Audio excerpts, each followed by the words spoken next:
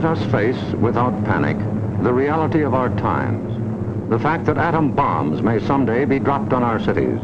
And let us prepare for survival by understanding the weapon that threatens us.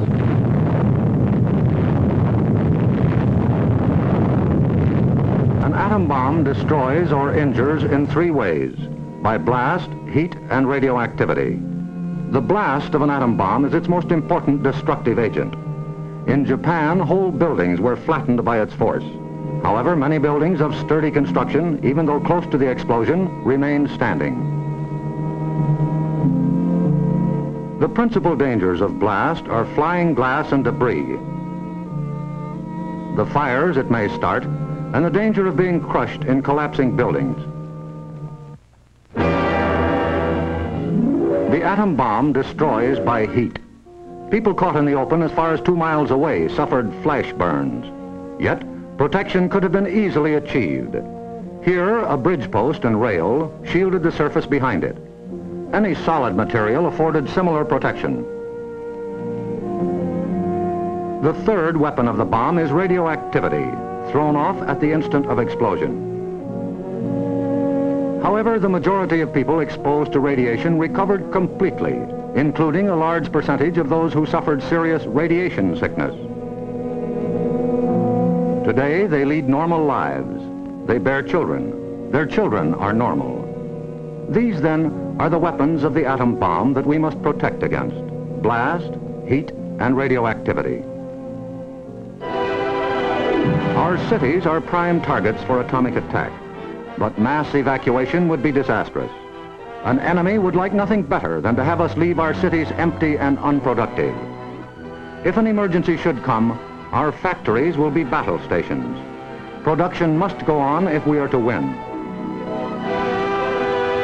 Our offices and homes will also be posts of duty, not to be deserted. With the knowledge of the first atomic explosions to guide us, our chances for survival will be far better than those of the people of Hiroshima and Nagasaki, if we act on our knowledge and are prepared.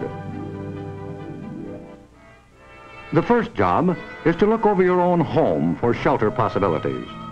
If you live in a private home that is well built, the cellar is the safest place to be. The lower you get, the more barriers there are likely to be against blast, heat, and radioactivity. Select the basement wall nearest the probable target area of your city. If the house is blown over, it will most likely fall away from this wall.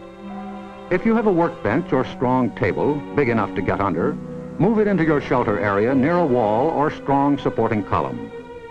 If the time comes when you actually have to take shelter, lie under the table.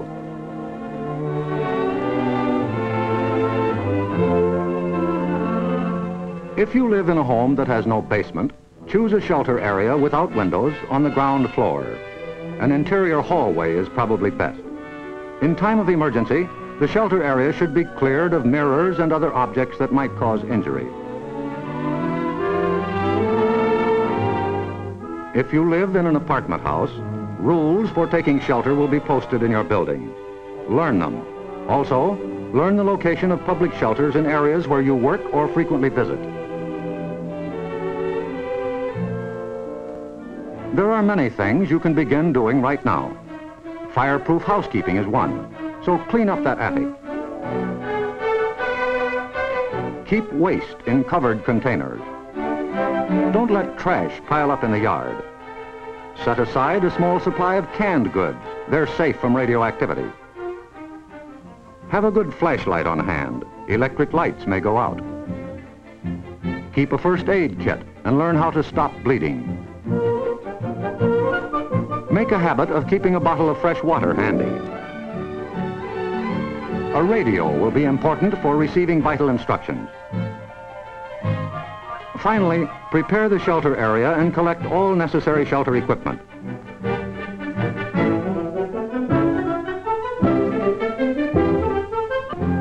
In case of an actual raid or test drill, the alert will be a warbling siren blast, lasting three minutes.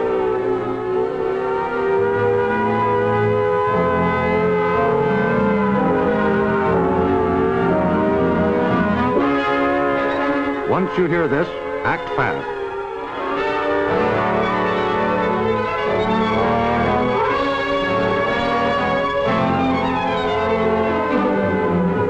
Pull down the shades or blinds and close the drapes against flying glass. Turn off the burners of your gas or electric stove.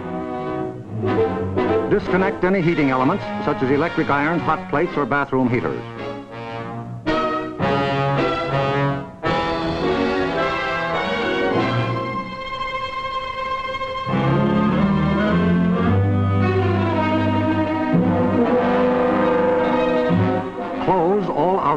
Doors, but leave them unlocked. Turn off the gas or oil burners.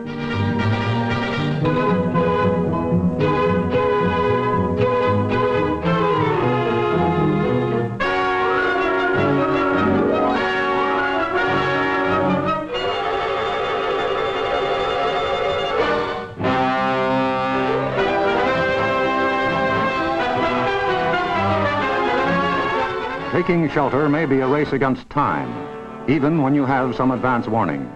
But possibly, there may be no time. An attack could come without warning. The sky would suddenly light up. If a doorway is right at hand, use it. If the nearest shelter is more than a couple of steps away, fall to the ground immediately. Flying glass and debris are immediate danger, so stay where you are until you're sure it's safe to move.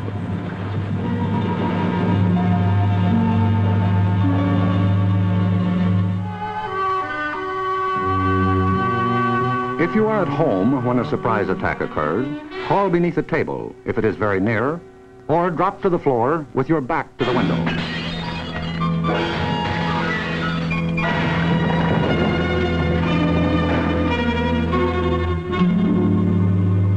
The immediate danger is over in about a minute, unless the explosion occurred near the ground or water.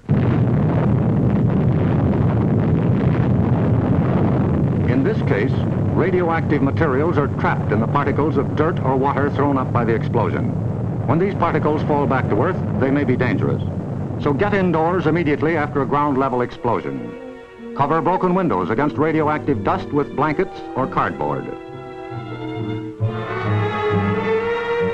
Civil Defense radiological teams, equipped with radiation survey meters, will check on contamination in any bombed area.